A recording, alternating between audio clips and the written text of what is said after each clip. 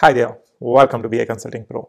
Suppose your report viewers or users are asking you to create a parameter that they can pass to your query and then on the basis of that you are going to return the data. We all know that in SQL Server Reporting Services or SSRS you can pass the parameters and also you can do in paginated reports. But if you have to do in your Power BI reports then how you can do that? If you are also thinking about that then this video is for you. So please don't forget to stay tuned with me till the end of this video and I'm to let you know everything about it.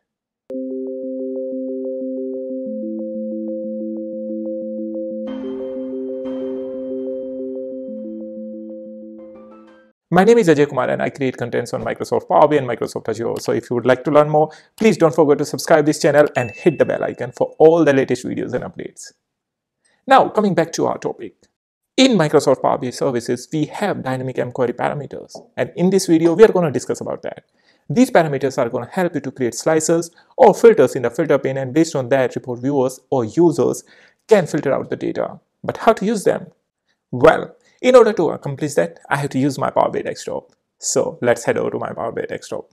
First of all, you have to open your Power BI desktop app. Over there, you have to connect with SQL Server you have to click over here on the SQL server and you need to connect via direct query mode. This is really important. Without connecting in direct query mode, it's not gonna work. So please provide your server details over here and then click OK to connect with the direct query mode. And after that, select the tables required to create this dataset. However, please remember that you may encounter certain impersonalization error, etc. So to avoid those kind of errors, please always open Power BI Desktop as an admin. Alright guys, I have already connected via direct query and I have these three tables, dim product, dim date and fact internet sales table. I'm not going to remove any of the columns from here except that I'm going to rename some of the column. For example, under this dim date table, I'm going to rename it to date. And in dim product table, what I'm going to do, I'm just going to get this product name and I'm going to rename it to only product name rather than English product name. Now, as a next step, what you have to do, you have to simply create one parameter. So let me create a parameter over here. I'm going to create a new parameter and I'm going to call this parameter as product. What we are trying to do, we are trying to filter the product table dynamically using dynamic mQuery parameter. That's what we are trying to do over here. I'm going to keep it text only and let it be any value and initially let's just put CA, for example, only the text, because I want to filter out all the products with the name CA that contains CA only. Now, what you can do, you can go back over here in the dim product table, and here you can see this is my dim product table. Now, I have to filter this table out to use my product name as CA only. So, in order to do that, you have to simply click over here, and here you see the text filters, and I'm going to say contain. Over here, I am trying to just filter whenever it contains certain letters or the full name. So for that, just click on this contains and here I'm going to say CA. So let's see if it can filter out. And you can see that it has filtered out the data. Now, what I'm going to do, I'm going to use my parameters to do that. So for that, I'll go to the advanced editor and here you can see this CA. So in order to use your parameter, you can simply write this ampersand your parameter name and then again ampersand. That's all you have to do over here. And now it's going to return me something but here's nothing is returning. Why? What have we done? So we have to investigate. What's the problem? Why it's not taking my this parameter? So let me go again here. And here what we have to do rather than this single quote we have to use the double one. So one more here that's all we have to do. And now one is extra so let me just remove this. And now let's see. And here you can see my parameter is working perfectly fine. Till now what we have done we have simply connected our data source using direct query which is a sql server where we have adventureworks dw and then we have just connected to the three tables dim product dim date and fact internet sales table after that, we have created one parameter, which is over here product. And you can see this parameter over here. You can change the values over here M your table is going to filter it out according to that. For example, rather than C, I can just mention A and let's see. So now you can see my all the product name, which has a letter A has been listed over here. So that's how we can use this dynamic and parameter but we are not still there yet now i'm gonna take one blank query over here this is my blank query I'll go to the advanced editor and I'm gonna just simply type or paste this code where I'm gonna change column to product name. This is what I'm gonna do and nothing else. And I'm gonna keep this table name as product parameter.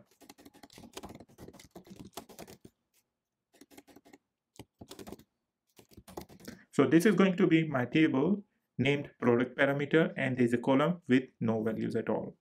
So let me simply close and apply. Of course, it's going to take it as a hybrid model now. And over here, you can see these are going to be in the direct query mode. So if I'll go over here under advanced setting, these tables are in direct query, but this table has been created inside. So it's going to be the import mode. So my model is now as a dual model or composite model or hybrid model, the way you would like to say it. Okay, now this is my table. What I really want to do, I want to filter out my product name on the go or you say dynamically. So let me create a one simple visualization over here.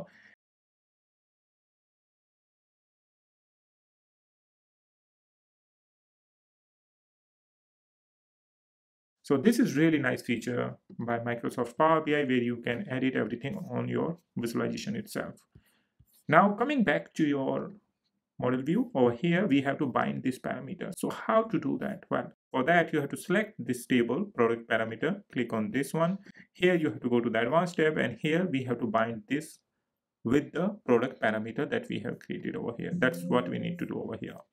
So so far what we have done we have get the data using direct query. After that we have created one parameter. That parameter we have used in the product table. In the product table, we have used the parameter that we have created separately. But also please do remember that we have also created one table with the name product parameter where we have one column named product name. And this product name we have bind to parameter with the product. Because we have created already a product parameter that we have bind to this one. So that whenever we are going to change any value that is going to reflect inside our report view. Now what we can do we have to go back to our report view. Over here this is my top 20 product. If you would like to use it you're here you can use it. But over here what i'm trying to demonstrate i'm trying to demonstrate how this parameter or dynamic mquery parameter is going to work. For that let me create a new page. Over here i'm gonna bring my product name. So this is my product name over here.